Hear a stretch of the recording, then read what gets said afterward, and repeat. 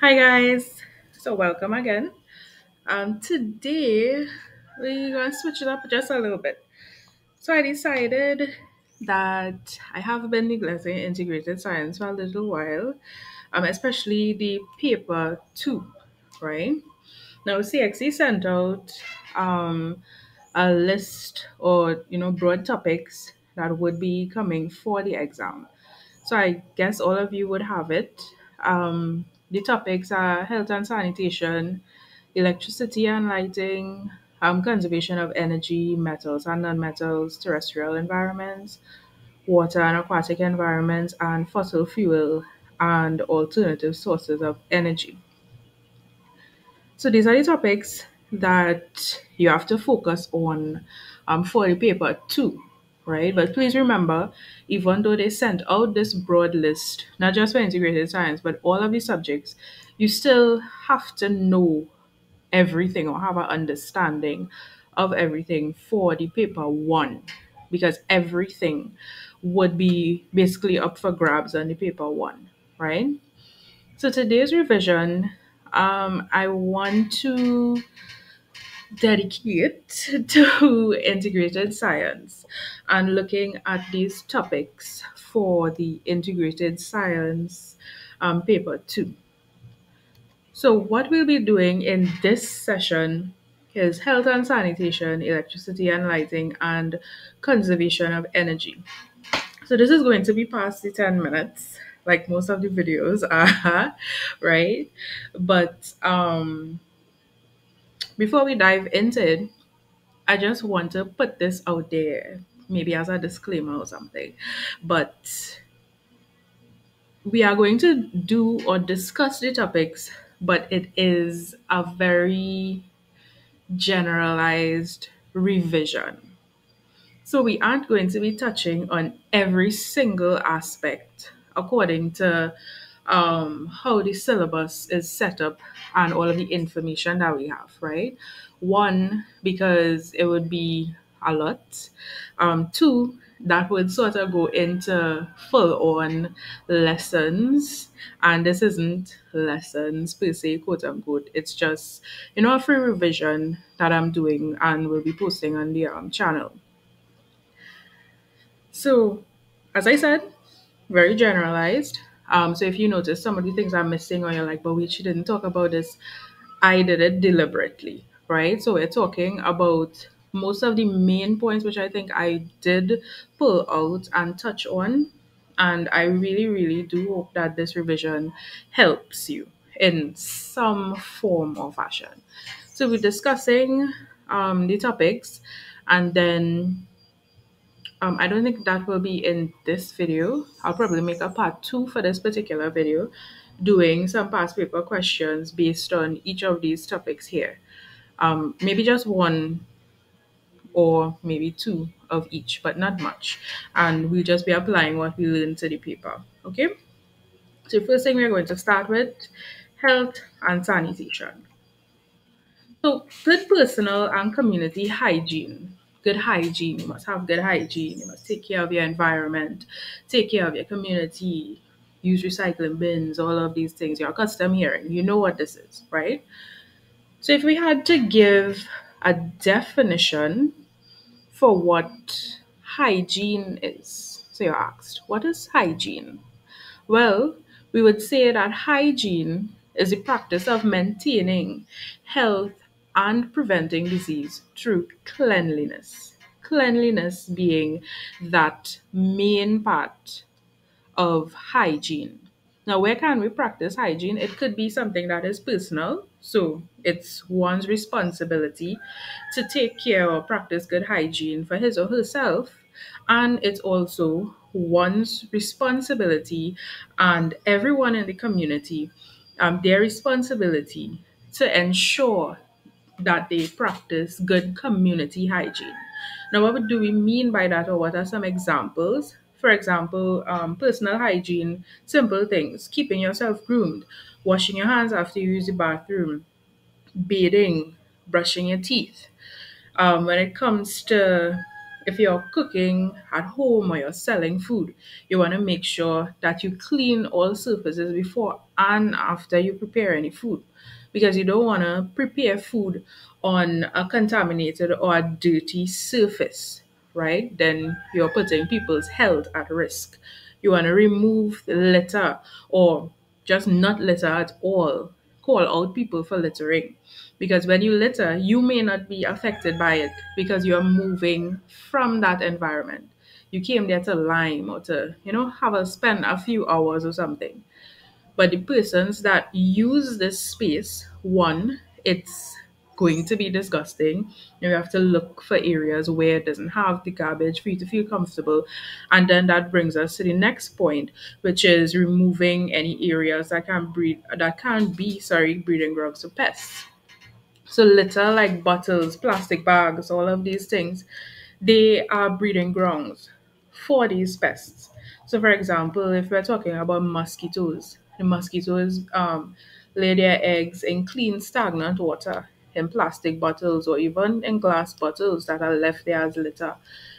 Um, if it catches water, that water is going to be stagnant and these mosquitoes can lay their eggs there and that's going to affect persons in the community because you may not be there as i said before you could be living Mayaro and you're going to town or you're from town and you go to Mayaro and you know you're having a good time and then you leave your things there. It's the persons in the community that are going to feel the brunt of the littering that you did. So remove your garbage when you go in. So we continue now with waste. What exactly is waste? Well, first off, we have different types of waste, right? We have domestic waste, so that will be things from your home, um, whether it be um, biodegradable or non-biodegradable material, industrial waste, so waste from um, manufacturing, um, well, manufacturing areas or whether it be like gases or things that they're actually physically disposing of. And we have biological waste. So biological waste brings us to this point here, which is sewage. So a waste typically is anything that is not useful for the organ to the organism. So we don't want that, right? Now in the biological aspect, waste is anything that we get rid of um, in terms of the body, right? So with this, what we're talking about here, we're talking about getting rid or the removal of urine and feces from the body, and this is categorized as sewage. Now, why do we need to carefully dispose of this sewage?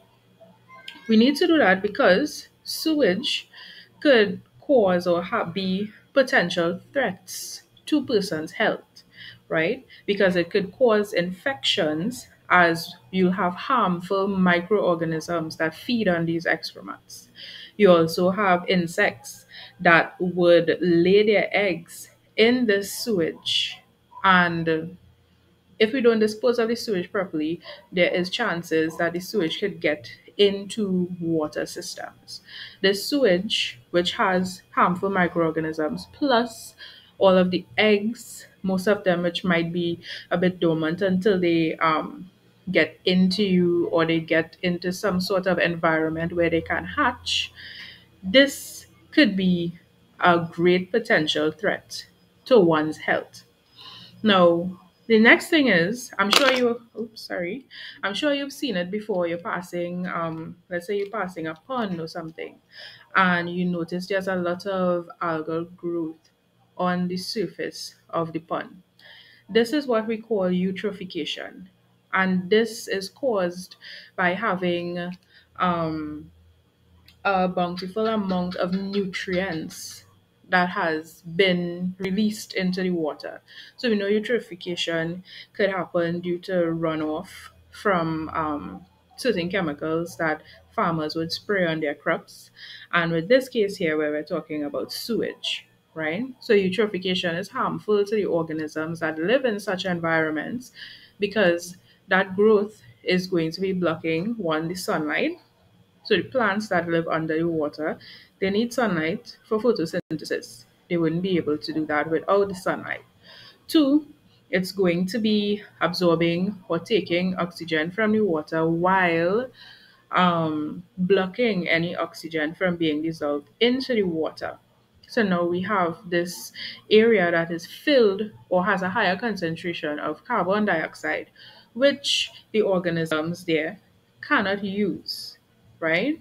So if the area is closed off and there's not space where, let's say, the fishes and the snails and all of they can move from one area to the next, if it's closed, then that could cause the death of all of the organisms that live in such an environment or live in that space.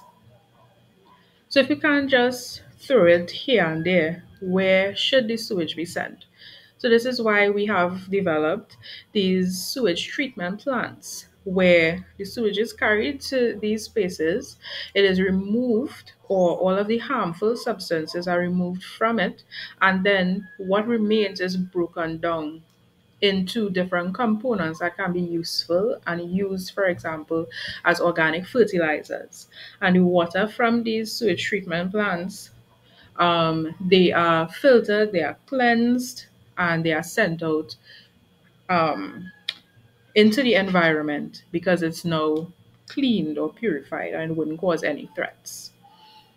So, what's the best way that we can reduce wastage? And that comes with the three R's, which we've been singing since primary school. We know about the different color bins the red, the yellow, the green, the blue, right? And the black. So, we know what all of them, um, we should put in all of them. And the three R's being the reduce, reuse, and recycle. If we can reduce the use or avoid using certain things, we'll do that. If we have to use it, then we could figure out ways that we can reuse these um, products or these bottles, the plastic bags, the um, plastic containers. And Caribbean people, we I think we have mastered that. We everybody's house has a bag of bags right? So we save these bags and we reuse it. We save the um the ice cream containers and we reuse that to send food for family or friends or even to store things in the fridge. And then recycling when we're throwing out the garbage, if we set aside certain things, for example, the plastic bottles, the glass bottles, all of these things to carry to respective areas where they can be recycled and reused, then that is going to prevent the excessive um, filling of these landfills, right? And that would eventually lead to a better good for the environment, as again, these products are not biodegradable. Now, the biodegradable material, we don't even need to throw that away. We can use that and create a compost heap in which we'll get really, really good organic um, fertilizer for our plants, right? So the next thing is household pests and parasites. So again, definitions. What is a parasite? A parasite is an organism that lives in or on another organism, and that organism is usually called the host. So this parasite, what it does, it gains its nutrients from the host while causing it harm. So if you could recall the different types of feeding relationships that we have, we know that this is an example of a parasitic feeding relationship, right? I am gaining while what I am feeding off of is losing.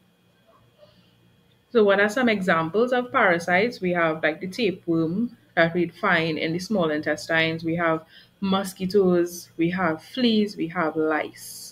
Those are just some examples. You can decide whichever different ones that you feel comfortable using. Next, what is a pathogen? Well, a pathogen is a microorganism that causes diseases.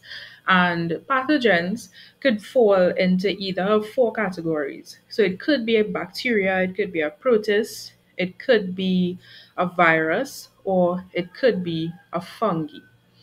Now, these pathogens, they then fall in line here with these vectors. They are linked because the vectors are like the Uber or the transport vehicles for these pathogens. They carry the pathogens, sometimes unknowingly or most times unknowingly, right? They carry these pathogens, which basically hijack a ride or a lift on them and carry them to their potential hosts without actually causing any harm to themselves. So the vector, for example, the mosquito. Mosquitoes carry um, a pathogen, let's say that causes malaria. The pathogen doesn't do anything to the mosquito. It's just hopping a ride. And when the mosquito bites us to feed, it is actually releasing, or that is where the pathogen would then hop off and be like, yeah, thanks for the ride. And then enter into us, which will be the host, and cause harm to us. So the person who is infected would get the malaria disease, right? So that's how it works parasite, pathogen, and the um, vector. That's what you need to know in terms of the definition. You should be able to distinguish each and what roles they play. Then, what is a pest? So, we usually say, you know, a sibling is a pest, or somebody bothering you, they are pests, right? So, it is sort of in line with that. You know, somebody's bothering you, right? It's destructive. So, a pest is a destructive insect or animal in some cases that can carry and spread disease causing organisms. So, the pest itself isn't what is getting you sick, it is what it is carrying that causes the disease. And remember, we just said what that is it's a pathogen right? So some examples of pests or common household pests, um, rats, roaches, mice, mosquitoes, we have like ants, all of these different things. So then how do we keep them away? We don't want pests around us, so what should we do to keep them away? Well, proper hygiene comes into place here. So proper hygiene practices in the home as well as the community. And why do we stress on keeping the community clean as well? Is because I could keep my house as clean as possible. But if I am living in an area where the persons have no respect for the community, or I am keeping my house clean, but when I go outside, I'm a litter bug. I don't care because this is not inside my house. I am adding to the creation of these breeding grounds for the pests. And the pests are going to come into my home because my house has food right? Food, it has dark corners, it has warm spaces where they can freely reproduce. There are no um, predators in my home as well. So I am inviting them to my home if I do not practice proper hygiene, right? Both in the home and the community. And apart from that, sometimes we just can't get um, rid or can't get past or avoid some of these pests. So then we come into different means that we can use. So we can use things like chemical barriers as well as um, physical barriers, right? Physical barriers, for example, let's say um, flies or mosquitoes. We have the screens that we can put up um, on the inside of the, well, the outside of the um, window, right? So when we open our windows, we'll still be able to get breeze, but there's that mesh that keeps the insects or the pests out. Um, we also have the sticky traps for flies. So you put a little food on it and they will go towards that and they'll be stuck there. And we have the mouse traps. All of these things are physical. Chemical will come in um, like the the poisons that you'd put around the house and the corners for the right um the mice and uh, um, BOP, right? The almighty BOP or Protox or whichever brand that you use. But that is chemical means in which we can get rid or control these pests. Now, apart from that, we have different methods that we can use to control these pests, right? So we have, we're looking at two here, and then we'll look at some other um, means. So we have mosquitoes and we have the houseflies. Those two are specified in the syllabus. Um, you had to know the life cycle of these because knowing the life cycle of pests gives you a good understanding or a good hint as to how we can get rid of this, right? At which stage we can use what means, whether physical or chemical barriers, or understanding where they lay their eggs so we can get rid or dispose of such um, materials or such areas that might be in the yard or in the community, right? So these here Um, these pictures show the life cycle of the mosquito and the fly, which is very common or very similar, sorry. And we should be acquainted with this because I think since primary school we've been learning about the life cycle of at least the mosquito, if not the housefly. Now, there are other means that could be used to get rid of these things, and it's based on their life cycle, understanding it. So, we have the eggs, the eggs then um, hatch and turn into the larvae, then we have the pupa, then we have the adult emerges. And again, it's the same thing for the mosquito, um, sorry, the housefly, right? So, looking at the life cycle, we have different stages here, or different things that we can do at a particular stage. So, at the if we're using anti-larval measures, right, we don't want this here. Then we can look at environmental control, chemical control, or biological control right? Environmental control, looking at the environment, looking at the spaces where the mosquito would lay their eggs, where the larvae would live. We get rid of these areas. Chemical control, um, we can use sprays. Um, we can also add certain things if we know we have to have um, sources of water that is continuously open, then we use certain chemicals that wouldn't affect the other organisms that are living in the um, those water sources, but it would get rid of the mosquitoes. And biological control, biological control is where we're using another living organism to get rid of um, to get rid of this pest, right? So we add fishes or certain types of fishes to the pond that feed specifically on the mosquitoes, whether it be on the eggs or the larvae. Then we have anti-adult measures where we can um, use space sprays, um, residual sprays, or even genetic control. So here we're talking about some lab stuff that we can even do. Um, protection against mosquito bites. So we have mosquitoes in the environment. We can't do much about that, right? But the mosquitoes, we can use nets, mosquito nets, like what you put around babies. So some adults or um, some persons also sleep with that if they live in areas that has a lot of mosquitoes.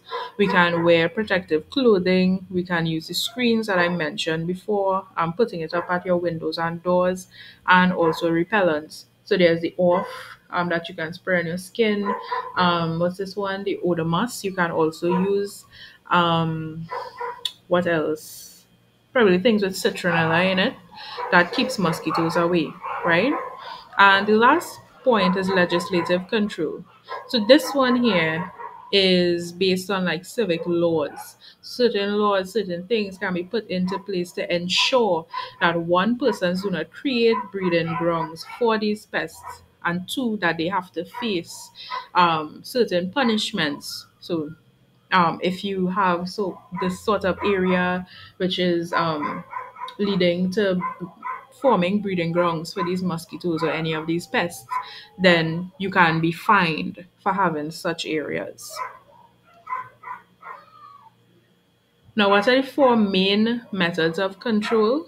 So we looked at, um, we mentioned physical and biological already, right? So we have sanitary control, biological, chemical, and also the mechanical control. The physical control will fall under this category here, okay? And that's it for health and sanitation. On to the second topic now, which is electricity and lighting. So I guess at this point you could take a little pause and then come back into it, okay? But I'll be moving on. So electricity and lighting. Circuits. First thing, we want to know all the definitions. We have to know it just in case they ask. Because definitions are usually like one mark, sometimes two. We don't want to lose these easy marks because they add up coming to the end, okay? So, what is electricity? Electricity is a form of energy resulting from the existence of charged particles, either through static accumulation, which is, you know, the rubbing together of um, two items, or uh, the electrical current or electric current. And what is electric current? It's a flow of charged particles along a complete path called an electric circuit connected to an energy source. So, what do we know about electric circuits? We know that the circuit must be made of material that is um, conducting, right? Material. So, it must allow electricity to freely flow through it. Um, the energy source could either be a cell or a battery, somewhere where we are going to get that charge that will go um, then flow through the entire circuit, right? And it must be complete, meaning that there must be no open areas. Um, because if there is an open area, there's any area where the circuit is not completed or doesn't flow continuously, then the electricity will not be able to pass through the entire thing. Now, what's a unit of current? It's the ampere, and we represent that by capital E. Um, if you're hearing the dog is barking in the background or any noise, please, please ignore it. These dogs were quiet they chose to start talking when I have a video to do. Anyway, um, so these are the different symbols that we use, or we should be familiar with some of them, um, if not all. So we have the cell, one short, well, how I like to say it for you to remember, just one short stroke and a long one. That is a cell. Anytime we have more than one cell, it is a battery. So that is also something that I think you have to pay close attention to because if they ask you to draw a diagram and they specifically said a cell, if I was correcting the paper and you drew a battery for me, I would not give you it correct because that shows that you don't know or you cannot distinguish between a cell and a battery. So just pay close attention to that in case there's people like me correcting your papers, right? But I don't usually mark harder. I just saying it's just to make sure that you could distinguish between what a cell is and what a battery is. Um, we don't really need to know the alternative um, for a battery, but mm, these two, right? A cell and a battery. Um, then we have the filament lamp. So we usually use this one here. This is the filament lamp that we have. You just do that, a little pump thing there, and you draw a circle around it to show that's your bulb. We have the fixed resistors. Um, you can use either one. Um, we have variable resistors. Um, I don't think we use variable resistors for integrated science, so we didn't really have to learn this one. But resistors, and then these are the bottom here. We have to have to know. So this is the ammeter, the voltmeter, the fuse, and also the switch. So without this switch, once the switch is open, then the circuit is not complete. Once it's closed, then we know the circuit is complete. And if we have a bulb attached to it, the bulb will light because the energy or the electricity is flowing throughout the entire um, circuit. So here we have um, some lamps or bulbs, filament lamps, set up in two different ways. And we need to know these different ways that we can set up um, a circuit, right? So we have parallel and series. So series is one after the next. You could think of like your Netflix shows, how you watch those series one after the next. You don't take a break. And then we have the parallel. So the parallel is exactly what it is parallel. They are not touching or meeting each other. They're not on the same line or same space. And here we have one above the next, right? So if we were to put a next one we'd have that here. And well, this is not how to draw it. Don't draw it like me, but I'm just doing that there to, as an example, right? So two things that we need to know. The total current from the source, which is in this case a cell, would be equal to the current flowing through each path, right? This is for the um, parallel. And if there's a break in one path, current can still pass through the other. Again, parallel. So if something happens to my line that I drew here, it can still successfully pass through these other two. But if something was to happen at this point here, then neither of these lamps would light because they are in series. So that's the disadvantage of having something in series rather than having it set up in parallel, right? Now, what is voltage? Voltage is the electric potential difference between two points. And it is defined as the work done per unit charge to move a charge between, again, two points. Voltage, we represent that, we say it's capital V, right? Now, what is used to measure this? We looked at these two here, ammeter, voltmeter. Ammeter, we saw amps is the unit of current. So to measure current, we'd have the ammeter. That is what they're measuring here in these um, two diagrams. Here, we want to talk about the voltmeter. So the voltmeter is to measure voltage. And uh, how do we set it up? It is placed in parallel across a component.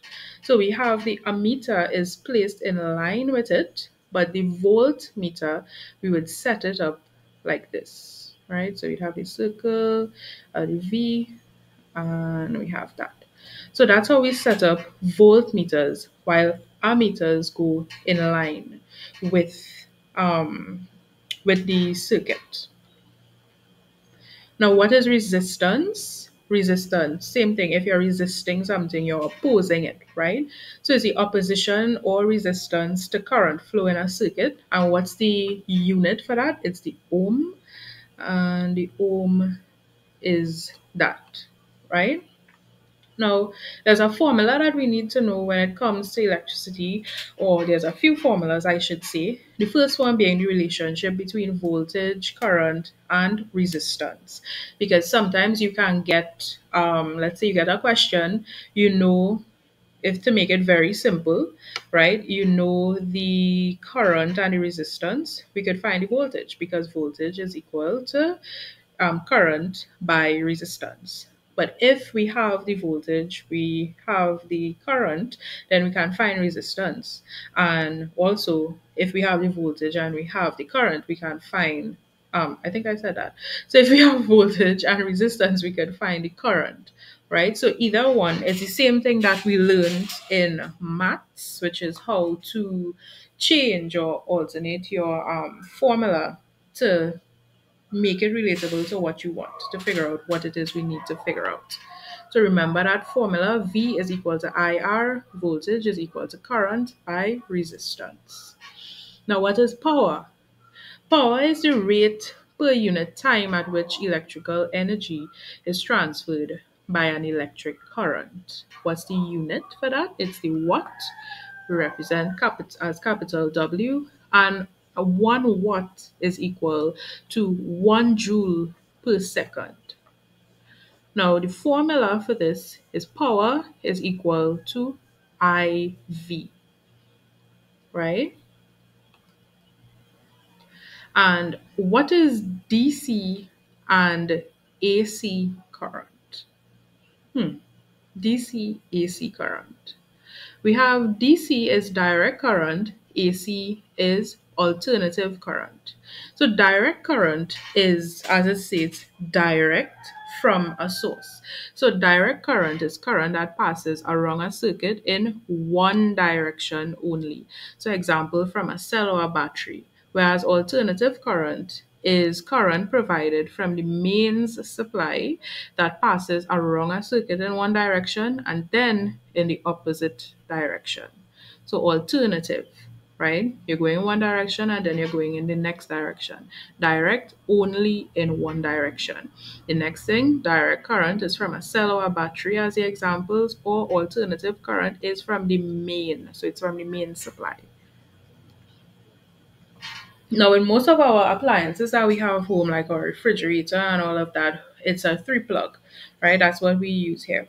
And when looking at um, the different cores that you'll find, even if you know we're looking at like your phone charger, if it becomes frayed, right, and you're looking and you're seeing the different color wires, you have to know what it means. So we have the earth wire, the neutral wire, and the live wire. The live wire is the brown wire, the neutral wire is the blue, and the green wire or the earth wire is the green and yellow.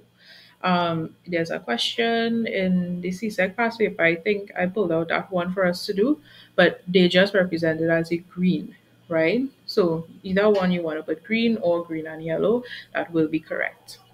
Now, in a circuit, we have safety devices that we put.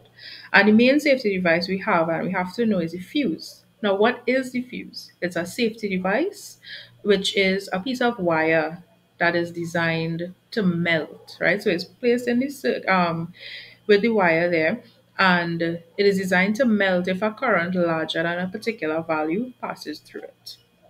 So when it melts, that means that the circuit is now incomplete no electricity can flow to the appliance. So it is there as a safety device or a safety measure to um, save or to protect the equipment or the appliance, right? So that's the first piece there.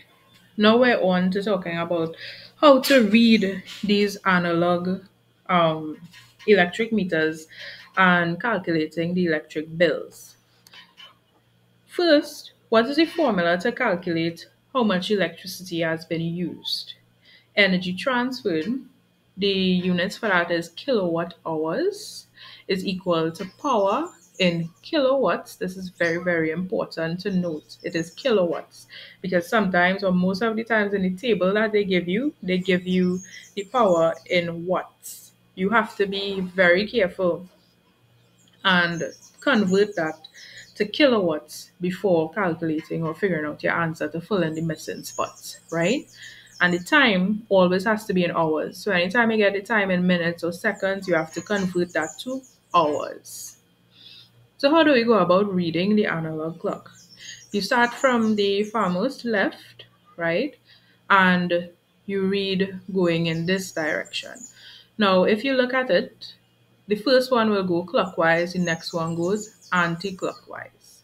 So you're reading not in this direction, you're reading in this direction here, right? So uh, you're seeing the units. So um, 10,000, 1,000, 100, tens, and ones. So what would be the reading here?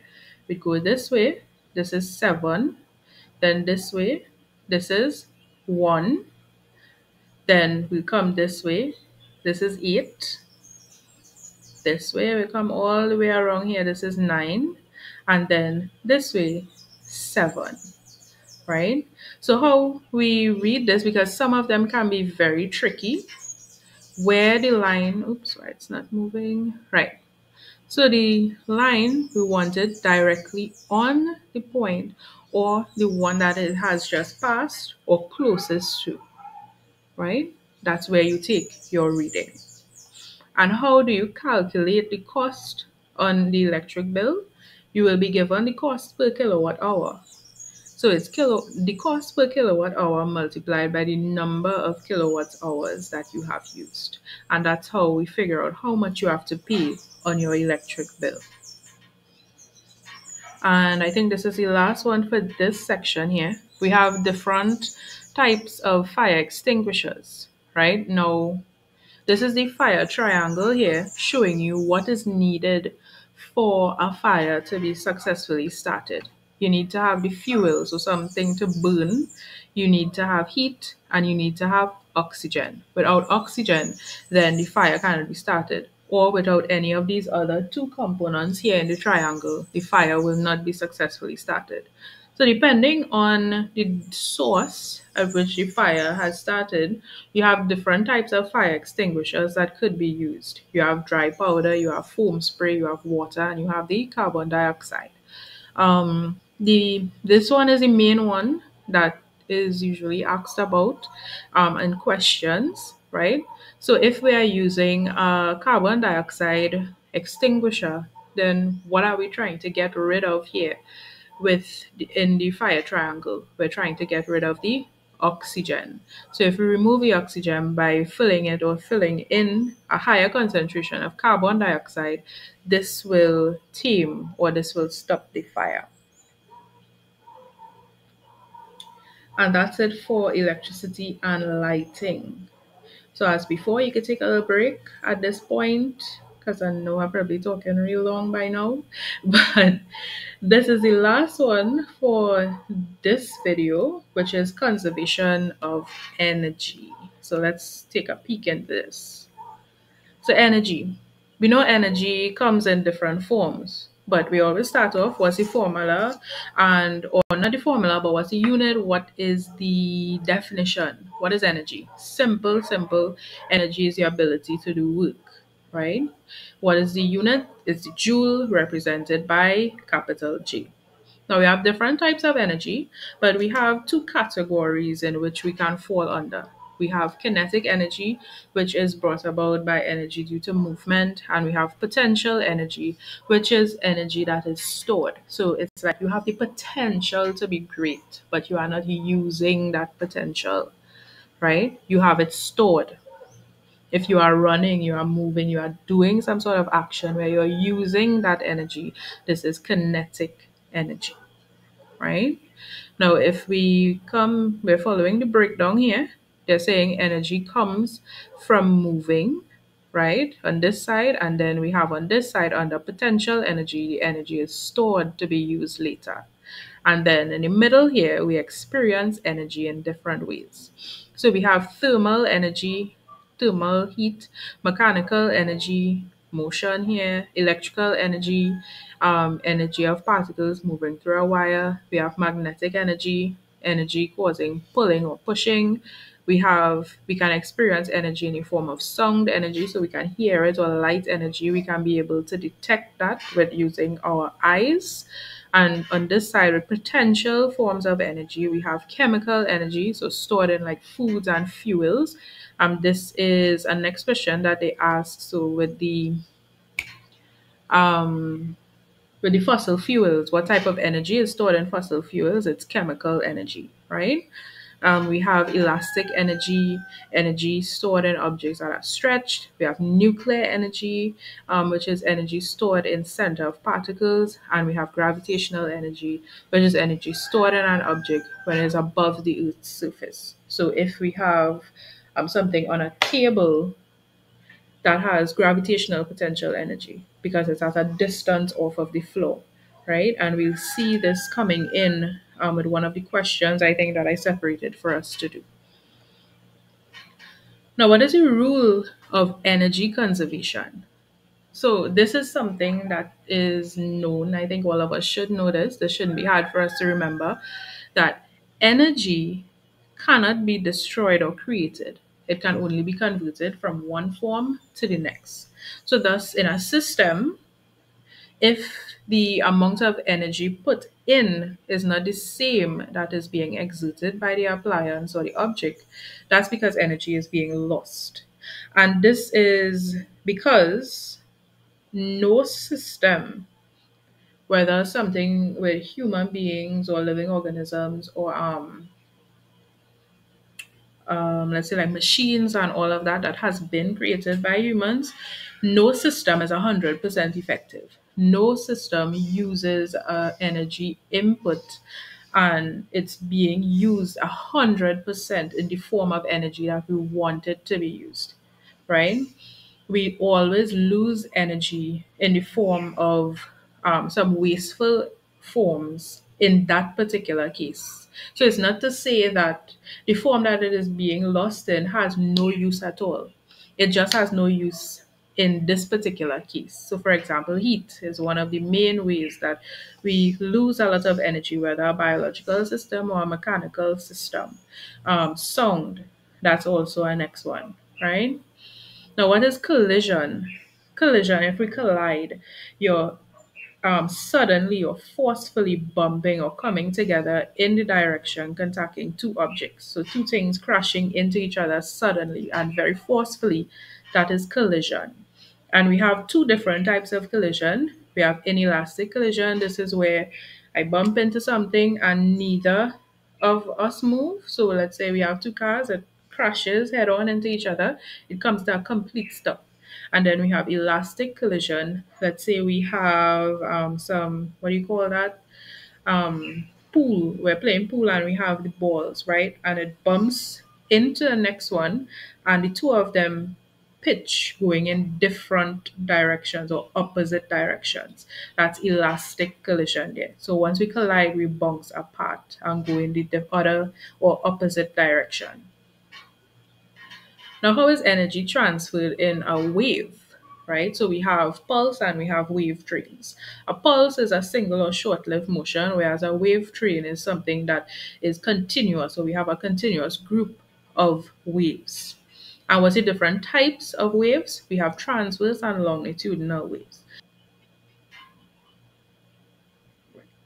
So we have C and D, right? So C is this here showing us the transverse wave train and we have D showing us the longitudinal wave train.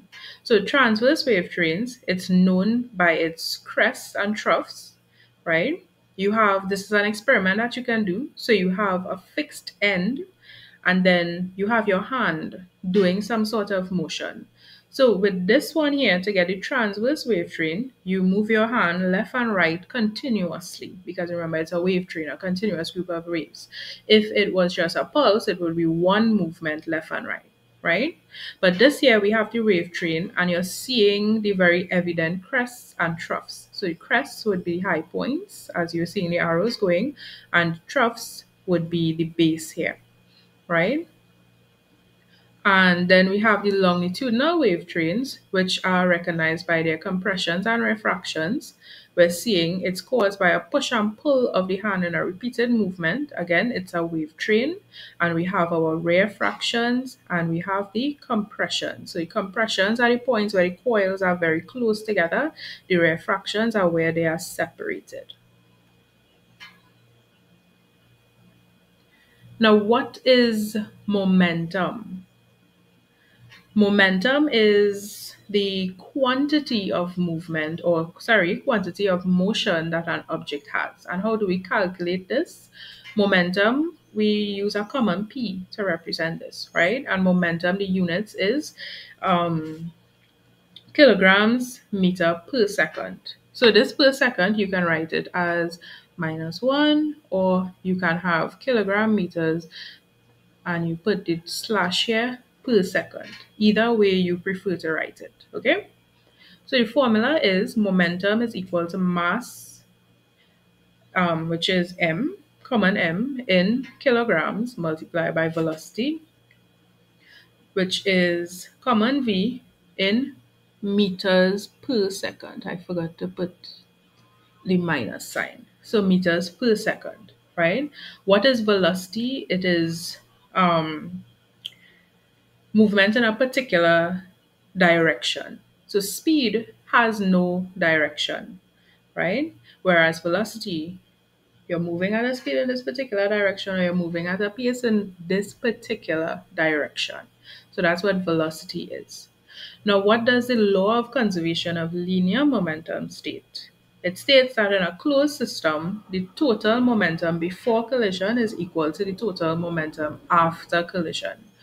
So once you have no external forces being added into the system, then you will have no change in the total momentum before or after the collision.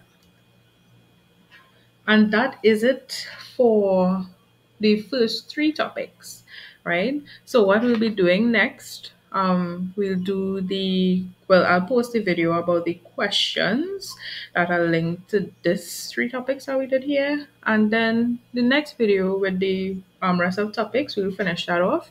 We'll look at metals and non-metals and then terrestrial environments water and aquatic environments and last but not least fossil fuels and alternative sources of energy